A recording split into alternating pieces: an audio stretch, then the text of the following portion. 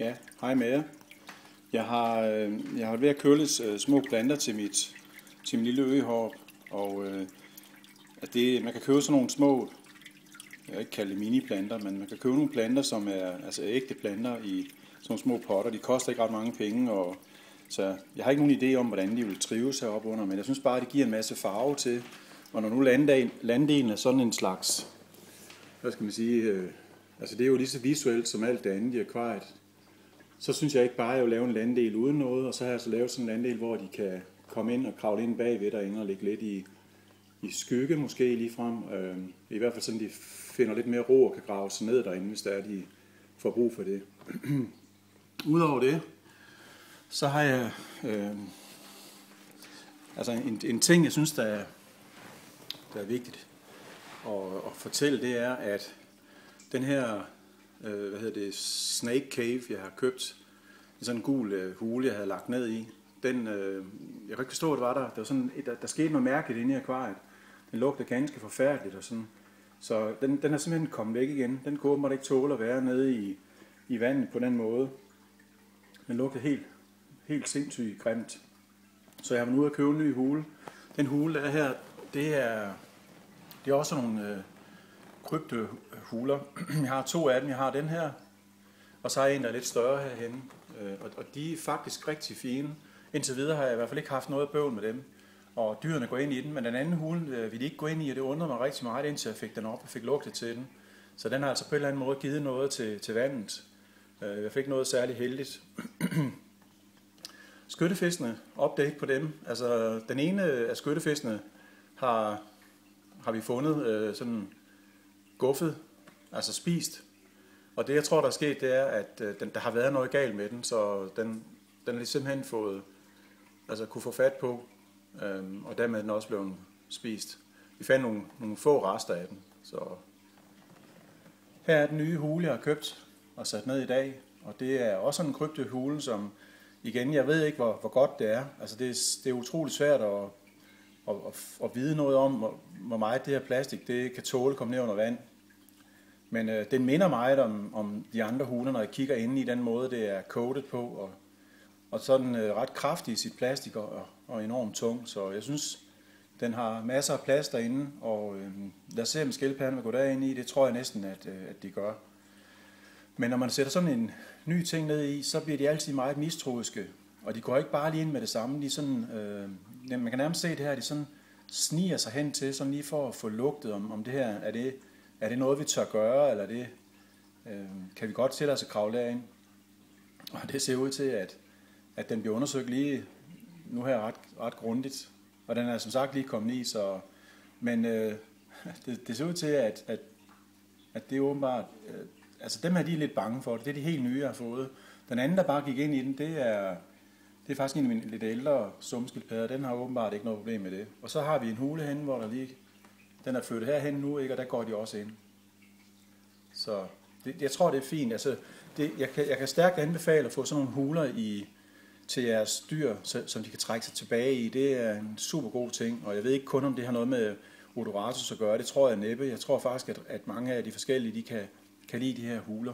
Blot skal man passe på, at det er nogen, som, som de kan komme fri af igen. Det nytter ikke noget, de kan, at det er fælder, de kan sådan komme i klemme. Det, øh, Øh, så, så de huler, jeg køber, det er sådan nogle helt åbne huler, øh, som de kan skubbe op, hvis det endelig er, de kommer ud her i, i fronten. Ikke? Altså de sidder godt om øh, med en rod over, så, men altså pas lidt på, at der er en god højde, og, så, de ikke, øh, så de ikke kommer til skade ved at kravle ind i, i hulerne. så har jeg, øh, jeg har haft sådan noget kalkpulver med vitaminer i, jeg har brugt til, til min, når, når jeg fodrer mine skildpadder. Og det har jeg ikke mere af, og jeg ved faktisk ikke, jeg ved ikke helt, hvad, det, øh, hvad navnet var på det pulver. Så jeg selvfølgelig skulle købe noget nyt, og øh, så har jeg valgt til vitaminblanding. Jeg kan, jeg kan ikke prøve at se, om I kan se det her. Jeg prøver lige at holde op i lyset. Der har jeg valgt noget... Øh, jeg ved ikke, om det giver nogen mening at sidde her med... Men der står et eller andet med nekton. Altså det er noget, jeg har købt ude ved... Øh, ude ved Tandes have derude, hvor at det har sådan noget med vitaminer og alt muligt i. Og det, det prøver jeg at bruge som, som den del af det. Og jeg, har det, jeg bruger det på den måde, at jeg, jeg har sådan noget rå laks, som jeg har skåret ud i nogle tynde, tynde skiver. Og når jeg tør det op, så hælder jeg det her pulver henover. Jeg tager sådan en lille knivspids og lige drysser hen over det hele. Og øh, sammen med, jeg har købt noget sepia powder. Det er simpelthen kalk. Der er simpelthen ikke kalk nok i det andet. Og det her sepia powder, det øh, bliver så blandet sammen med det, altså når jeg drysser henover. Og så hakker jeg det simpelthen ned i med sådan en lille rille kniv. Der hakker jeg simpelthen i kødet, sådan at, det her pulver, det kommer sådan rigtig godt ned i kødfiberne. Og så når jeg fodrer med det, så får de både pulver, altså kalke og vitaminerne på den måde. De får selvfølgelig også, øh, de får jo også, øh, hvad hedder det, de her små fiskefoder med, der får de jo hele organismer på den måde, og de får rejer. Det er altid øh, det store spørgsmål, hvor meget skal man fodre, og det kan jeg også godt mærke på andre, der sådan, hvor meget skal vi egentlig give vores dyr, og det synes jeg ikke, jeg kan svare på, fordi at nu har jeg seks øh, gående her i, og, øh, og de æder altså bare alt, hvad jeg kylder i. Men det betyder egentlig ikke, at så er det den mængde, de skal have. Det kan godt være, at, at jeg overfoder dem. Så jeg har sådan lidt, ligesom når man har fisk, man prøver sådan med, på, på fornemmelsen. Altså, de ser ikke ud som om, de sulter mine, mine skildpadder, og de søger, men de går også op og, og lægger sig lidt, når de har fået noget at spise. Det betyder også på, at de har fået, fået nok formodentlig. Øh, og så skal jeg jo heller ikke bare svine det hele til, og der skal ikke ligge en masse foder bagefter. Så hvis, øh, hvis skildpadderne tager deres, og fiskene tager deres, inden for, for skal vi sige, en begrænset tid, så må det egentlig være den mængde, de skal have. Og det må I, altså, det må I simpelthen prøve jer frem med. Men det er så til gengæld vigtigt, hvad for noget foder I, I, øh, I, I giver jeres dyr. Altså det, er, det skal I sørge for, at altså der må I lige prøve at se jer lidt omkring, hvad I kan få fat på. Altså de skal have kalk, og de skal have nogle mineraler og vitaminer. Det er, det er helt hvad skal man sige, sikkert, at øh, det kan man ikke. Man kan ikke kun fodre sig frem til det, med, med, men man kan godt fodre, og de kan formodentlig også have det rigtig fint i, i lang, lang tid med, med mig, det, hvis man fodrer varieret. Men udover det, så er jeg som sagt, altså, så bruger jeg de her, øh, når de får de her, det her laks, og de får de nogle gange, øh, altså en til to gange om ugen. Det kan også være en periode, hvor jeg ikke lige har noget, så går der en, et par uger imellem, jeg får fodret med det. Men altså, jeg synes, det er et rigtig godt foder. Det er meget fed fiskekød til den, og øh, man skal selvfølgelig passe på, at, at det ikke bliver alt for voldsomt, øh, fordi de bliver kæmpe fede af det. Så ja, men altså, det er ny hule, og det er kalkpulver, og så øh, ja, den der Snake Cave, sådan en, en gul en, jeg havde købt, som var helt forfærdelig, den, den røg altså ud. Og det må jo ligesom være det update. Og så lidt planter, ja. Og det synes jeg, det synes jeg også lige skal med. Og nu har jeg jo set nogle af skildpadderne igen, og de trives ganske, ganske fint. Øhm, det her det er en af de nye af dem, jeg har fået. De er lidt mere flade i skjoldet. De er lidt brunere i skjoldet. De, men, men det, der afgør, om det er en Oloratus, det kan man se, det er hovedet, de striver, der går igennem hovedet derude, det, det, det, det kan man ikke tage fejl af.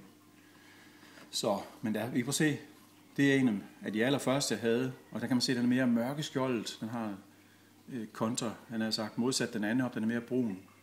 Så der er de der små forskelle. Så har jeg masser af korridors maler. Jeg har forskellige typer.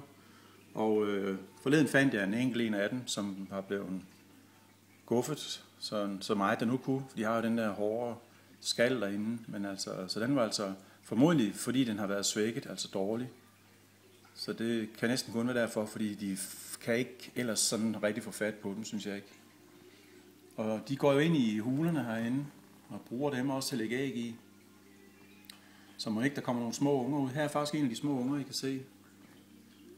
Det er en af dem, der har overlevet. Der er en to-tre stykker, som har overlevet, og de vokser ret hurtigt op igen. Det er lidt sjovt at se de små. Øhm, her er det en korpand, som, er, øh, som er, de klarer sig rigtig flot også. Og de, de er ikke, øh, synes ikke, de er så sky som mine stærbeje. De er rimelig sky og gemmer så meget om bagved. Nå, okay. De har ellers fået mad i dag. De har fået, øh, fået, fået fisk, sådan nogle frosne små fisk. Det er sådan noget tobis, tror jeg det er. Og dem har de guffet super hurtigt. Og det er, det er faktisk en ordentlig portion, de får af dem, synes jeg, men det er stadig ikke på jagt efter noget mere mad, så... Ja, men jeg må hellere stoppe, så hej med jer.